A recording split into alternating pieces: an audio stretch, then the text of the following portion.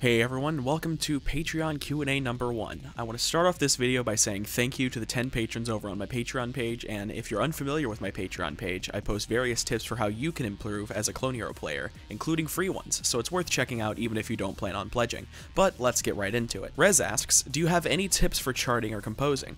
Now, I'm definitely not the right guy to talk to about composition, but I do have a tip for charters. Now, of course, this is my personal opinion and should only really be taken as that, but that opinion is this. Making your charting style stand out to those around you can work towards making your overall presentation as a charter more unique, and therefore more interesting as a result.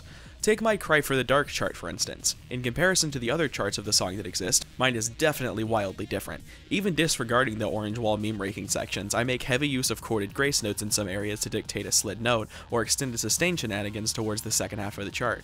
This is my personal style, and it makes that specific chart iconic enough to come back to for certain players. As for how you can go about refining your own style, ask yourself what you want from your charts. Do you want them to be regarded as extremely accurate? Do you want them to have replay value to top players? Decide what you want most out of the public reaction to your style and work backwards from there to see what you need to do to achieve that. Quick editor's note because I like this question. A way my own charting style differs from others in the community is my heavy use of trills during whammied sustains in a song. I use them constantly, and I think it adds a fun extra element to the playability of my charts. Octofree asks, what are some good charts for learning trip and quad patterns, i.e. quad trip zigs, quad trip chimneys, etc.? I've said it a hundred times and I will say it once more. Marathon by Schmutz06 is the best chart on the market right now for learning every single type of tapping pattern out there. The warm-up section of the song alone covers all forms of trips, all forms of quads, anchor changing, situational method bodging, zigzags, transitions, consistency, patience, and pattern dexterity, all within the first four minutes of the song. The rest of the chart covers more complex portions of the tapping skill set, such as transitioning off strumming, sweeps, ladders, extremely complicated methods, and pretty much everything else you could possibly want for an introduction to tapping. The only skill set that the song doesn't really work is raking and slide tapping, which isn't something most players will ever have to worry about. Jacob Finch asks, have you noticed any new and upcoming players in the Clone Hero community?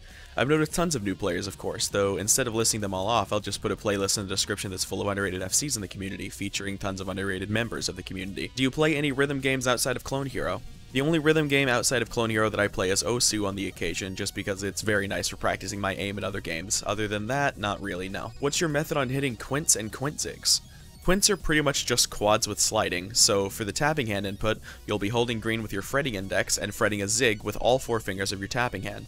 Then once fully let go, a fretting index slide up to red, a quad zig fretting input for the remaining frets, and a slide back to green. The most important part is doing the tapping input as fast as possible to allow for more time for the fretting inputs. What is the hardest pattern you've come across? This is a very subjective question, though the single section that's given me the most trouble out of every chart that I've ever played is what more effort sounds like solo 2D.